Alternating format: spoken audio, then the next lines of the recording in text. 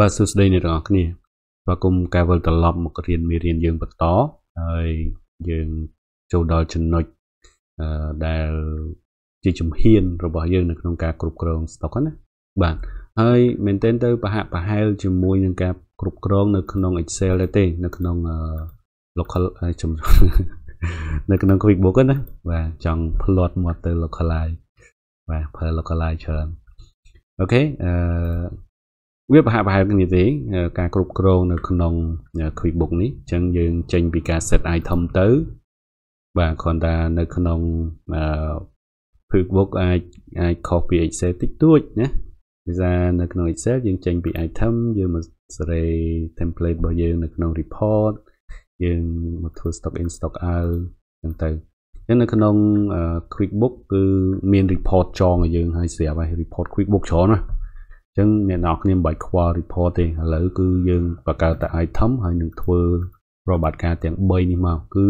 វារៀងលឿនជាងដោយសារតែ QuickBook គេ structure យើងហើយហើយអញ្ចឹងយើងនឹងបង្កើត report យើងមួយ យើងធ្វើដូចគ្នាអញ្ចឹងដូចគ្នានឹងអានេះអញ្ចឹងដូចគ្នានៅក្នុង Excel អញ្ចឹងប៉ុន្តែយើងយកទៅធ្វើនៅក្នុង QuickBook ម្ដងណាអូខេអញ្ចឹងតាមដានជាមួយគ្នាណា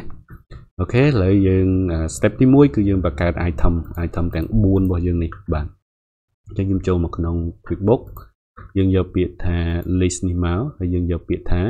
item list បាទ item list បាទអញ្ចឹងយើងមាន blank ទេហើយអញ្ចឹងយើងយកខាងក្រោមនេះយក item យកពាក្យថា new បាទ new អឺអូកន្លែងនេះខ្ញុំអត់ទាន់បាន config មួយណា config មួយតកតនឹង inventory part ណាអញ្ចឹងកន្លែងនេះយើងត្រូវចូលទៅបើក function inventory part បន្តិចអូខេអញ្ចឹងមួយមួយនេះគឺអឺបង្ហាញរបៀបដំបូងមកបាទអញ្ចឹងយើងចូលកន្លែង edit យកពាក្យថា preference បាទដើម្បីបើកប្រើវាបានណាអញ្ចឹងយើងយកកន្លែង item and inventory នេះបាទ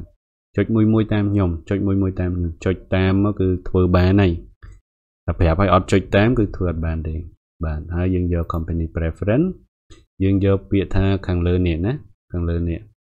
គឺ inventory and purchase order are active បាទ active អញ្ចឹងយើងចុចយកប៉ុណ្ណឹងមកបាទ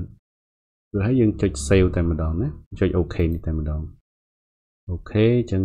QuickBook វា refresh បន្តិចបាទដើម្បីបើក function ហ្នឹង អូខេអញ្ចឹងយើងអាចចូលមកកន្លែង list នេះមកបាទយក item list បាទដដែលទេមិញអញ្ចឹងយើងចូលកន្លែង item យកពាក្យថា new បាទឬក៏ចុច shortcut control new ក៏បានដែរណា control n control n គឺបង្កើត item ថ្មីហើយយើងយកប្រភេទវាជា inventory part បាទជា inventory part ហើយបន្ទាប់មកយើងមានកន្លែងនេះគឺយើងបញ្ចូលទាក់ទងនឹង item name ហើយនឹង number របស់យើងបាទ item name ហើយនឹង number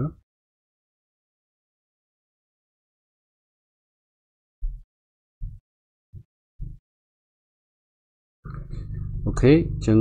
នេះតកតនឹងឈ្មោះផលិតផលហើយនឹងលេខរបស់យើងណាអញ្ចឹងកន្លែងនេះគេដាក់ slash យើងអាចចងវាចូលជាមួយគ្នាក៏បានដែរយើង copy ទាំងពីរដាក់មកបាទ នេះអញ្ចឹងយើងមានឈ្មោះផលិតផលហើយលេខកូដហើយនឹងឈ្មោះណាអូខេ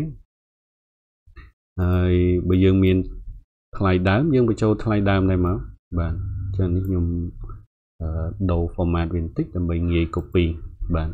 អញ្ចឹងនេះគឺថ្លៃដើមកន្លែងនេះដាក់កន្លែង cost នេះគឺ5ដុល្លារ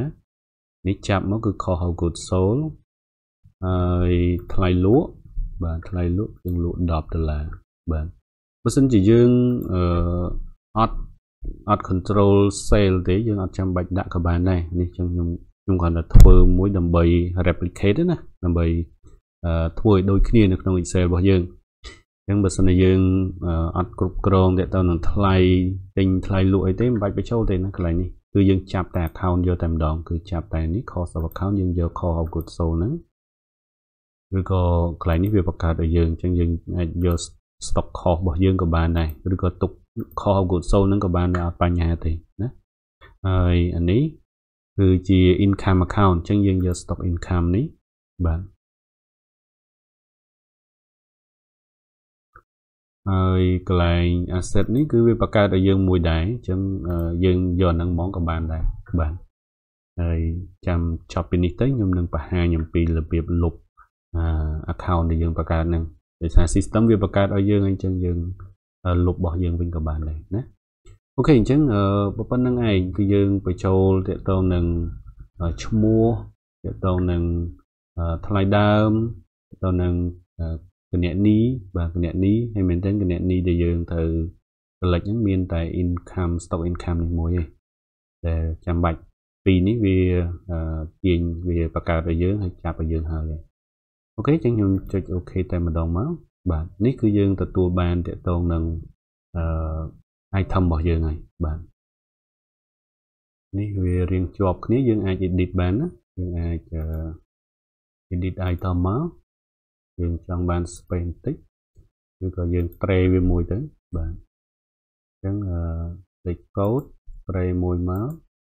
ហើយមានឈ្មោះចឹងទៅបាទអូខេអញ្ចឹងយើងមើលចេះទៅគឺស្អាតជាង បាទអញ្ចឹងអ្នកទាំងអស់គ្នាបង្កើត3ទៀតហើយអស់មកណាបង្កើត3ទៀតហើយអស់មកបាទជួបគ្នានៅវីដេអូក្រោយទៀត